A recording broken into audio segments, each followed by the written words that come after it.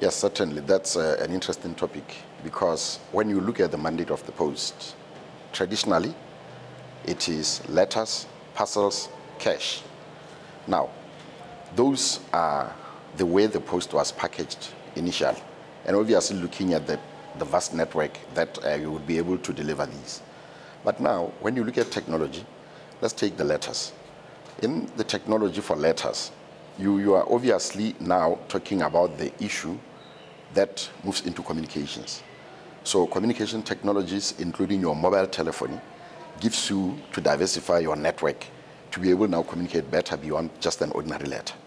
Now, if you look at also still under telephony, you are able to use your phone as a virtual network provider. And actually, we as Botswana Post have now taken the cell phone number and created a virtual post box. So it means that we have increased our footprint, you know, beyond the normal number of boxes that we have. Second thing, when we, we move into parcels, this is now where e-commerce technologies actually come into play because now it means that we've got very versatile, you know, integrated systems that help us for parcel delivery and it also for track and trace. So technology itself makes it easy for customers to be able to deal with the post and as well as to deal with the e-tailers to get their parcels in a seamless and easy way. And obviously without technology it will take a very long time to actually receive these. Now let's move into cash.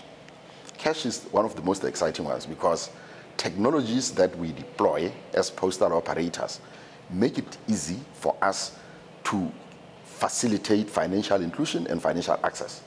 And when we take this mandate of cash, and then we take the technologies that we use, mobile applications, softwares, artificial intelligence, this is where now the fintech becomes into play. And you know that when there is financial technology, it becomes easy for the consumer, the service provider, and other players in the market to be able to participate. So for us at Botswana Post, those are things that we do. That's why we have the mobile money app that we call Poso, Poso Pay.